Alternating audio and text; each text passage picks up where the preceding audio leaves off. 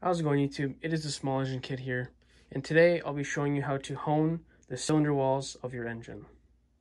The tools you'll need to do this is a drill, a um, honing attachment for your drill, and some lubrication. In here I have some 5W30 engine oil. So first, you're going to want to twist this and put some lubrication on your cylinder walls. Just like that. Make sure to spread the oil or lubrication all over your cylinder walls.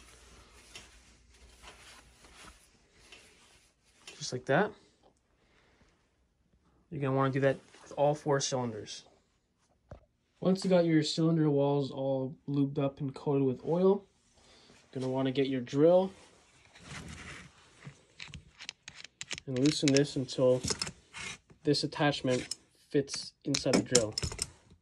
Once you have the drill attachment on the drill here, you're going to want to push it down, compress it, so, and then slide it in the cylinder. Make sure that these uh, these discs here are lined up briefly against the uh, cylinder walls. Now you're going to go at medium pace and just go up and down slow motions. Make sure you keep going. You don't want to burn or anything. You want to keep going consistent.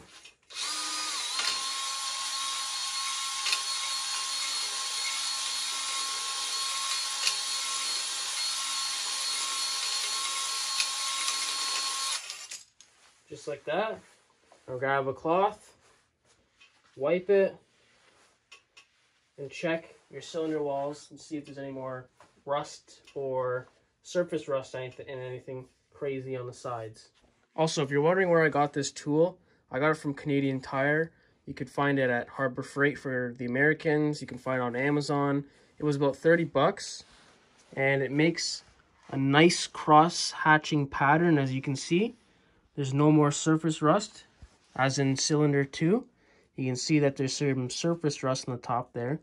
Looks really well. I'm going to go across all four cylinders, flip the block over, do it again, just to make sure, and then measure them to make sure I still have a 75.5 millimeter bore size. So I put some extra oil from lubrication on the sides because you'll see that when you're using the, the hone um, attachment, it'll leave over some some grit and it's really hard to take off but all you do is put some some lubrication on the cylinder walls just like that and then grab your rag or your shop towel and just clean the cylinder walls. And it'll come off eventually. But you can see that there's no more surface rust. And that there's cross hatches happening. Looks really good. Um, so I'm going to clean the rest of these cylinder walls and show you when I get the finished result. There we go. All the cylinders are now rehoned.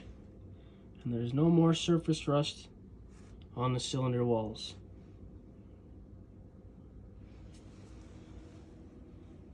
Thanks for watching. Leave a like, comment, and subscribe. And I'll catch you in the next one. Peace out.